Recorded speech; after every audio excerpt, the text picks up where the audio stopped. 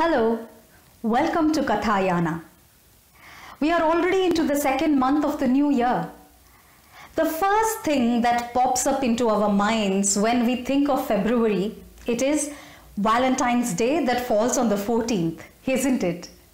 However, did you know that 28th of February is celebrated as National Science Day here in India? National Science Day is celebrated on 28th of February each year to mark the discovery of the Raman effect by our very own physicist Sir C.V. Raman on 28th of February 1928. For this discovery, Sir C.V. Raman was awarded the Nobel Prize in Physics in 1930. National Science Day is celebrated all over the country in schools, colleges, universities, research organizations, academic institutions, etc. There are various events held, public lectures, research demonstrations, quiz competitions, drawing competitions, science model exhibitions based on concepts and themes. Now speaking of theme, do you know the theme for 2019? It is science for the people and the people for science. Prepping up towards the celebration of National Science Day, Kathaa Yaana is bringing to you all a story from science. Way back in the 1800s, a material called lighting gas was being used to light lamps on streets, in common public areas, and also in the houses of some elite. In this lighting gas, there was a substance which was detected, and that was to revolutionize chemistry. It was called benzene. Benzene is a clear liquid with an aromatic smell.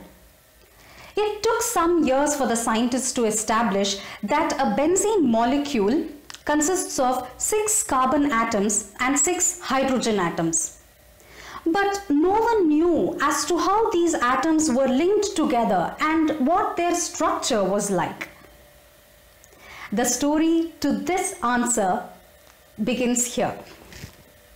In Germany, at the University of Gießen, there was a famous chemist who was also regarded as the greatest chemistry teacher of all time. He was very innovative and had sharp analytical skills. His name was Liebig. Once, Liebig had been called as an expert witness to the hearing of a spectacular case where it was alleged that a student of that university had committed suicide by burning.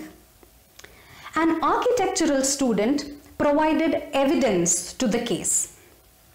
Now Liebig, with his sharp analytical abilities, deduced and proved that this case was not that of a suicide, but that of a murder. Wow, thought the architectural student. He was so impressed that he discontinued his studies with architecture and took up chemistry and studied chemistry for four years under the mentorship of Liebig himself. And the name of the student was August Kekule. Kekule went ahead to pursue his PhD and assistantships with other researchers. During one of his stints in 1855, he was in London. There, once he took a horse carriage ride to visit one of his friends. Just like how it happens to most of us while we are traveling, Kekule dozed off. But what happened when he dozed off is of interest. He got a dream. In that dream, he saw big carbon atoms and small hydrogen atoms coming floating and these carbon atoms were slowly pulling and grabbing the small hydrogen atoms towards them. And soon he saw that these carbon atoms were pulling other carbon atoms towards themselves and forming a row. He woke up with a startle. He went to his room, draw sketches on sketches of the pictures that he saw in his dream and finally came up with a formula like this. the carbon atoms linking with other carbon atoms and hydrogen atoms forming a chain like this, forming a row like this. However, this formula did not satisfy all the laws of structural chemistry for the substance in question, which was benzene. Now, in 1865, 10 years after this formula was deduced, Kekule was working as a professor at the University of Ghent in Belgium. One day, he was sitting in his room and writing, working for his textbook. Things were not going really well, so he pulled his chair near the fireplace, sat on the chair, and dozed off. He was immediately pulled into the space of dreams. In his dream, he saw his good old days when he was a student of architecture. He was visiting the historical places. He was going to the ancient buildings to study their designs. He was going to the churches. Ah, the church. What a peaceful place. And what beautiful paintings on the walls. And huh, that painting, it depicts the German mythology. His grandmother came to tell him the story. Long time ago, there was a giantess goddess by name Angrboda and her husband Loki. They had three children Hel, who lives in hell, Fenrir, the wolf, and Jormungand, the serpent. Once, the king of gods by name Odin came and took all these children with him. But for some reason, he banished the serpent. He threw the serpent Jormungand into the great ocean that encircled the earth. Jormungand the serpent grew so large that he was able to surround the entire earth and grasp his own tail.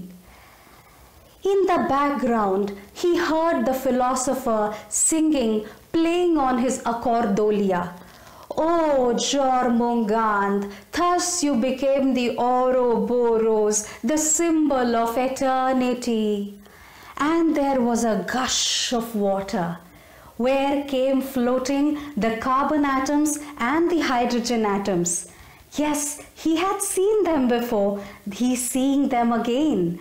They came, the carbon atoms grabbed the hydrogen atoms, grabbed the other carbon atoms, formed chains. There were many chains, there were many rows, and they all stood there floating and dancing elegantly to the melodious accordolia music. Oh, what graceful! How gracefully were they dancing! And then suddenly their movements became violent. They began to twist, they began to twirl like the movements of a serpent. Oh my god, do you see that? Oh, that one, those molecules just moving violently like a serpent. And then suddenly, one molecule seized its own tail and began whirling about. Ah, What was that dream now? Was that the key to the puzzle of the structure of benzene?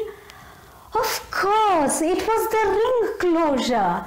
Up until then, Kekule had thought that a molecule is linear, it is straight. But now he thought, why couldn't a molecule like a snake grasp its own tail? Again, he drew sketches upon sketches of the pictures he saw in that dream and finally deduced the structure for benzene that we know of today. The cyclic structure of benzene, just like a snake grasping its own tail. Wow! Wasn't this a magic? How did this magic happen? Neuroscience has an explanation for that. You know, in our brain, there is a specialized area where there are specialized cells called the grid cells. These grid cells are a major connector between the conscious part and the subconscious part of the brain. And it is a major hub of memories. They work at their best when we are at rest. When we are not intently focusing on some problem, but instead just mind wandering, thinking of some pleasant thoughts, uh, thinking of some story, or just listening to some pleasant music, these grid cells are triggered. They are fired. And that is when we are all taken into daydreaming. And in Kekule's case, coming back to Kekule's case, these grid cells, what they did was exactly that. He was thinking of a problem which was not being solved. That problem these grid cells took from the conscious part of his brain. Then they took his experiences, his memories from the subconscious part of his brain, blended them together and provided some solution which in Kekule's case worked for his benefit. Science is interesting when we look for stories within it or look at science as a story itself. After all, science is made up of factual stories powered by evidences and proofs.